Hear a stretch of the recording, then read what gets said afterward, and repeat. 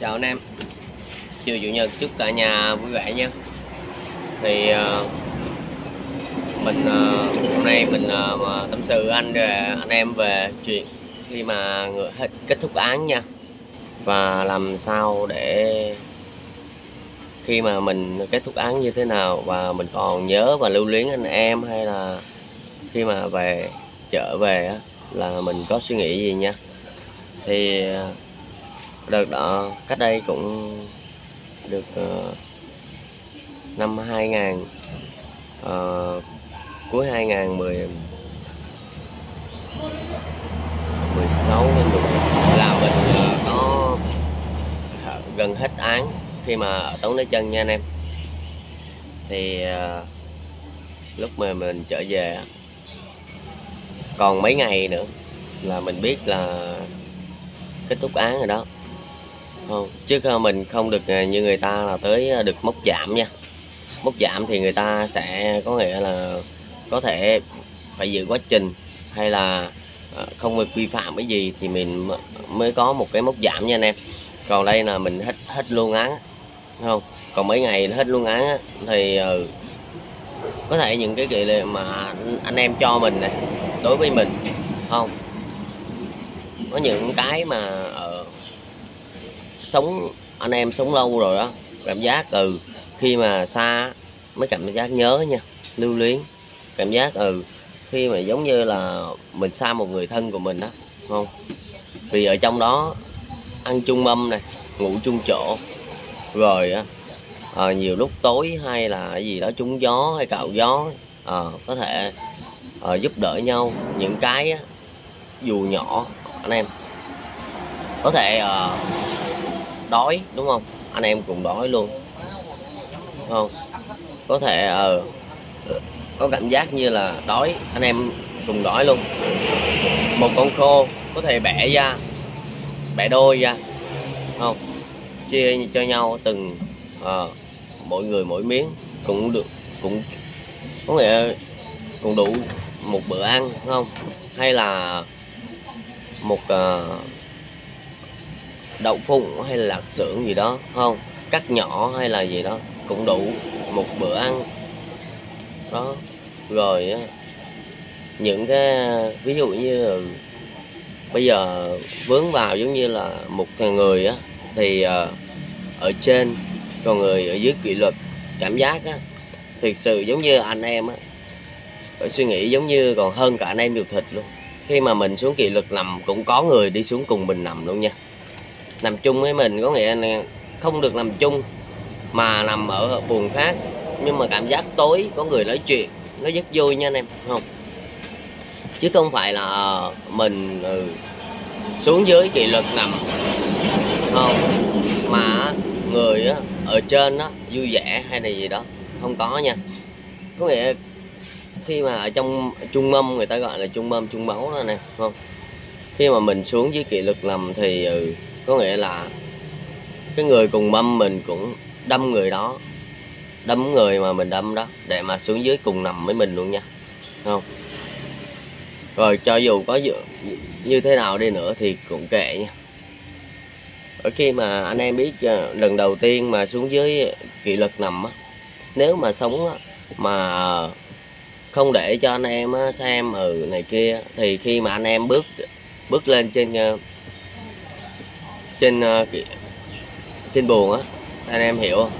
Khi mà bước lên trên buồn á, là có thể anh em ờ, cảm giác là bị, không có một ai đưa cho anh em một cái miếng ăn hay là gì đó tới với anh em nha không?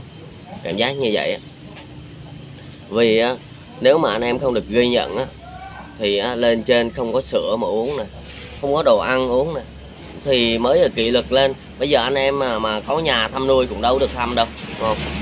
Vì đi kỷ luật thì không được thăm nuôi đúng không? Có nghĩa nhà, nhà lên mà cầm sách do lên tới lặng á mang tới tận chỗ thăm nuôi luôn. Nhưng mà nhòm ở ngoài dán cái cái bà cái bảng á gọi là họ tên của mình bị ừ, kỷ luật rồi vi phạm đúng không? Không được thăm nuôi nha anh em đúng không? Rồi những ờ, cái lúc mà nhớ ờ, mình nhớ nhất là khi mà tập trung cả một buồn anh em. Để hát à, có nghĩa anh em hát hò vui chơi rồi ăn bánh kẹo này kia uống trà không gõ bo. Để ờ, chúc mừng cái người mà sắp về nha. Có nghĩa là có một cái đêm mà cuối cùng đó là anh em biết cảm giác nằm không thể ngủ được không thể ngủ được và suy nghĩ nhiều chuyện. Khi mà anh em uh, lên bo hát xong uh, có thể là quá giờ quy định một xíu khi mà xin đó xin cán bộ là uh, chơi thêm một xíu không? Vì ngày mai á, có anh em về không? Đó về đời đó. Thì cảm giác hôm đó là có mặt sức nhiều này chơi bấy nhiêu đó anh em không? Rồi chưa tính là Ờ, những ờ, những cái mà mình chuẩn bị như rượu này hay gì đó, mình ngâm hay móc xích ở ngoài ao cá. Có nghĩa mình ngâm ngâm rượu là ngâm bằng cơm nha, rồi mấy trái cây, ủ là chôn dưới đất. Xong mang lên lấy vải mùng vắt không? Để lấy cái men đó. Còn một phần nữa móc xích ở bên ngoài, không? Móc xích bên ngoài để kiếm chịu đời nha anh em thì ờ, có thể một con cá thôi. Không, quăng dao quăng dao bụi chuối là sẽ có một chai rượu quăng lại nha. Anh em phải hiểu vậy. Khi mà mình chỉ cần dao đó mình lượm và mình mang lên, anh em biết rồi, mang lên để cộng về đó không? Cộng về xong rồi đến cái ngày không?